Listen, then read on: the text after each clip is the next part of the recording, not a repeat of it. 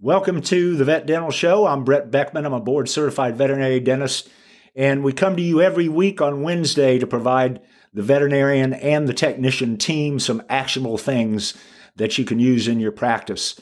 And this episode is going to be a recorded episode that we've done in the past, not a podcast that we've recorded or not the Vet Dental Show, but actually some other information for you that we know you're going to enjoy. So sit back, enjoy, and we'll see you at the end of the podcast. Uh, Natalia asked, Do we use mouth gags? You don't see any in videos. You know, that's a good question about the videos. I guess most of the time when we're doing doing the videos, we've got it in on the spot that we're actually doing the procedure. Many times I, I do use mouth gags, and the mouth gags are out of syringe barrels. So we know they're not spring loaded, which we know can slip and cause some severe problems. They are cut in multiple lengths, and then those lengths are fitted uh, where we know we, are starting to get resistance with the, with the patient's mouth when we open, and then we don't let we we never open it all the way. We just know where we're starting to get resistance, and then we open them a little further, and then put the put the mouth gag in, and that serves as a gag. You can do that uh, with cats with a tuberculin syringe, with a 3cc syringe, uh, with dogs, uh, 6cc syringe. Uh, with dogs, we use um, we also use endotracheal tubes in real big dogs. so we cut the cut like a 10 endotracheal tube or so and use that between canines.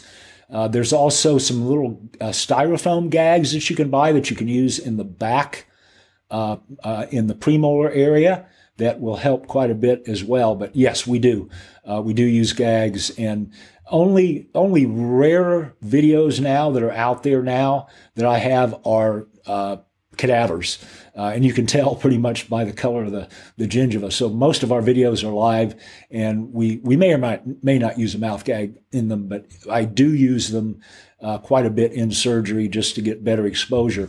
And when you think about one of the one of the times that you want to use a mouth gag would be if you're working back in the caudal oral cavity trying to do a fourth upper premolar extraction, first molar extraction, because what's going to happen if you don't have that mouth open, uh, the head of the burr is going to interfere in the opposite arcade. So you're not going to be able, you have to open the mouth to get the burr in far enough uh, so that you can have good access uh, to the tooth you're working on. So that that's one uh, big instance where you would definitely want to use a mouth gag. Tips and tricks for incisor extractions. Um, not very comfortable with flap preparation and closure. Um, had two times where suture failed. In general, Michael, to answer that question, I don't recommend doing flaps in incisors unless you fracture a tooth.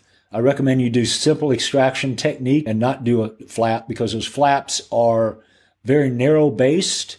They require quite a bit of manipulation to mobilize them, to get them to close over the um, lingual or in particular the palatal side of a, of a single extraction. So I would not recommend doing that. Now, if you have multiple extractions, like um, in a case with perio that has the marginal gingiva is really inflamed, then all that tissue is going to be fimbriated.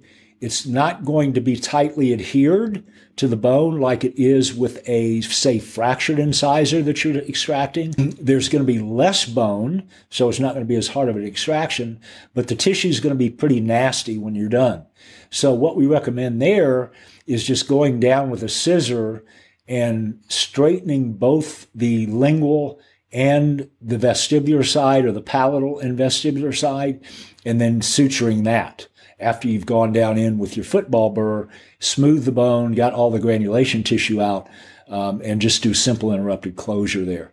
So that is that's one case where uh, we would recommend closing. The other thing I want to mention is if you are having dehiscence in that area, it probably is because the flap's too narrow and it's got too much tension. Those are two reasons why flaps don't work. The other reason is if there's no Elizabethan collar placed on the patient for two weeks to prevent self trauma. So definitely want to do that. Definitely want to uh, make sure there's no tension on there by dissecting. If you do break one and you've got to get down in and get the root out. The other thing I'll mention along those lines, when you have a lateral incisor, that's a hard extraction. And those are, I mean, they're prone to get fractured when you have canine tooth uh, uh, fractures as well. Often that one is, is fractured too. Those are as you know, in most cases, long, thick, and curved roots. They're in more cortical bone than the other uh, incisors, and so they're much more difficult to extract. We recommend doing most of our elevation on the mesial and palatal side on those, but both use the Vet Tome. Uh, the Vet Tome is a mechanical periotome uh, that is a flat uh, blade that moves very quickly up and down on a handpiece that is regulated by a foot pedal. In doing so, it will go down between the bone and the tooth root and create an enlarged periodontal ligament space.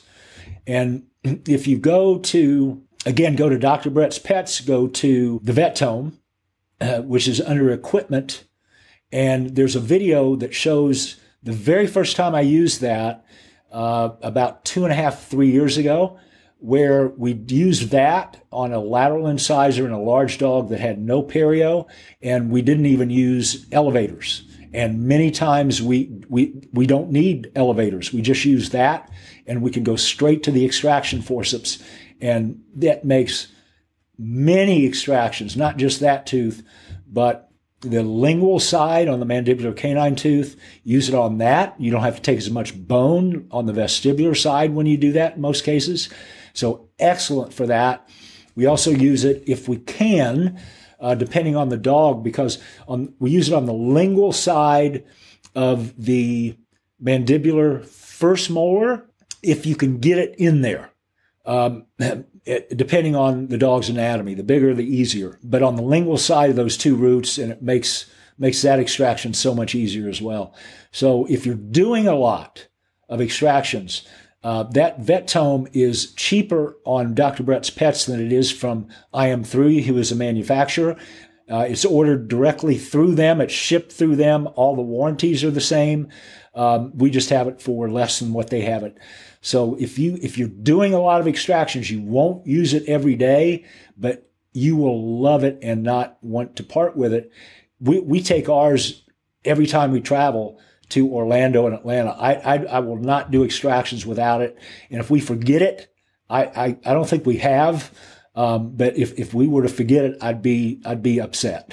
it's invaluable if you're doing a lot of extractions. If you're not, if you're not doing those teeth, um, if you're not doing a lot of fractured teeth, if you're doing mainly perio and you're not doing those teeth, then I would not even consider it. But for those of you who are, uh, it, it, it's it's a practice changer uh, if if you're doing a lot. Or class two malocclusion, Kyle, would it be appropriate to extract mandibular canines if clients can't afford referral? Um, if and let, let's qualify that by saying if this is a significant class two malocclusion where you have a tooth on tissue or tooth on tooth contact, then uh, the the other options are preferred, but and you can definitely extract the mandibular canines uh, to resolve that. That that's that's perfectly acceptable treatment, but you have to ask yourself how severe is the trauma. If you are doing odontoplasty and bonding, which most of you aren't, um, you could certainly take that crown down a little bit uh, if it's not too much into the tissue and uh, see if you can um, avoid have and bond it. I don't know if I just said that or not. And bond it, and then extubate and see if you still have contact, and uh, you may be able to avoid that that profound extraction treatment. But otherwise, yes, um, if if if it's causing significant damage, the owners can't refer and you're comfortable doing extractions on mandibular canines that don't have periodontal disease, uh, which most people aren't, then extraction is a perfect um, perfect resolution to that. But all in all, um, referral depending on where you're at, um, probably not that much more expensive uh, if it's a one-time procedure than it would be uh, for for uh, extraction. But again, depends on what you charge. Uh, you should be charging quite a bit because that, in general practice, that should be a um, probably an hour hour and 15 per side procedure. Um, in, in, specialty practice, it's definitely not, but in, in general practice, it may be. Good question. She's asking why that mandibular second molar that I mentioned was uh, a, a, difficult extraction. It's it's back in the back part of the mouth. It's in very thick cortical bone. Those roots are often curved, and they are. Um, it's difficult to to access that if you fracture the roots. You have to be really careful in elevation. You have to be very gentle, uh, firm but gentle, and again, that head loupe comes in absolutely essential there so you can see if you're, you're moving the tooth uh, so that you don't put too much pressure on it. And I, I generally recommend uh, when you're doing that to start in the furcation after you section it and use um, just use two finger pressure on that and just watch that watch that tooth uh, uh, or watch those teeth separate from each other as you do that and kind of get an idea for how much pressure you're, you're putting on that in that respect and how much mobility you're getting. If you're doing this and getting zero mobility, that's going to be a hard extraction. And you might, you might have to do a flap. If you do a flap, it's, it's not a, a fun area to, to, to remove bone because the deeper those roots get, the more thick the alveolar bone gets. So it's best to try not to do a flap on that unless you're already doing a flap on the mandibular first molar. And even then, I will try to section that and extract that tooth first without doing a flap and uh, see if I can get it out without a flap, even if I'm doing the mandibular molar. So um, try to try to do that first. Uh, if you're not, and and a lot of times that tooth is is coming out because of perio.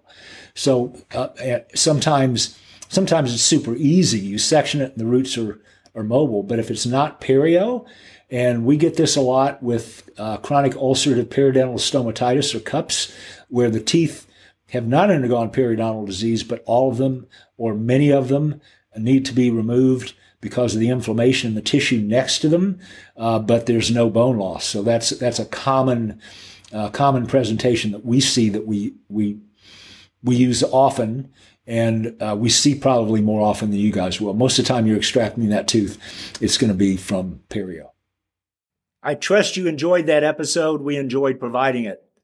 If you would do us a big favor and go to our iTunes page post a rating and review and take a picture of that with your cell phone and then post it on our Facebook page. And we'll send you the Instrument Use Essentials course. If you also look below, there is a link to two live trainings that we do.